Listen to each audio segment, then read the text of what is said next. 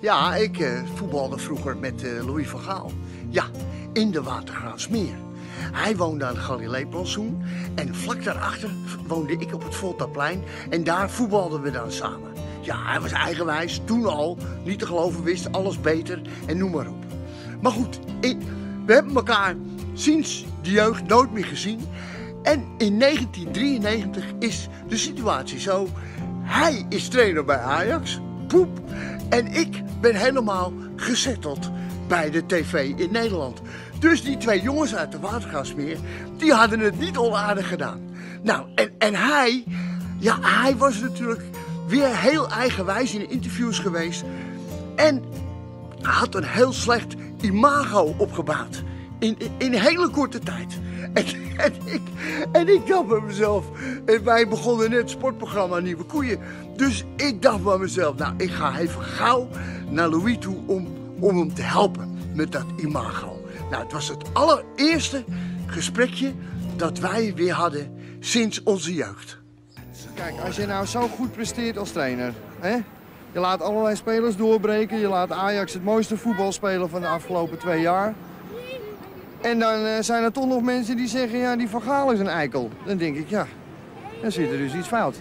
Doe ik het niet goed? Nee, waar zit dat dan fout? Hoe komt dat nou? Wat is daar nou mis? Omdat je als... eh, Hè? Waarom ga je nou niet een beetje aan dat imago werken? Dat ze denken, god, die Van Gaal, dat is een leuke pik, weet je wel, dat. Nou, dat, eh, ik denk dat je altijd jezelf moet zijn, Harry. Net zo goed als jij jezelf bent gebleven. Ja, En als dat nou eh, niet zo leuk is, niet zo leuk wordt geïnterpreteerd, ja, dan wordt het wat moeilijker. Ja, maar doe dat nou wel. Zorg nou dat die mensen je wel leuk vinden. Dat ze zeggen... Er zijn een hoop mensen die me wel aardig vinden. Meen je dat nou? Ja, dat zijn er te weinig, Louis. Ja? Dat zijn er echt te weinig. Ik hoor dat op straat en dan denk ik, god, waar, hoe komt dat nou? Moet je niet wat losser gewoon worden? Losser in de schouders. Iets losser gewoon. Nou, ik denk niet dat het wat helpt. Luister, ik ken jou van vroeger. We zijn samen opgegroeid. Toen was je toch een stuk losser. Ik ben nog steeds los. Meen je dat nou? Dat meen ik. Ik geef gewoon antwoord op jouw vragen. Dat is waar, maar waarom vinden die mensen jou dan een eikel? Hoe komt dat nou? Dat moet jou dwars zitten.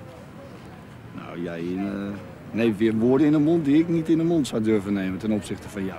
Het woord eikel? Ja. Ja, maar dat is wat de mensen, veel mensen vinden. ja.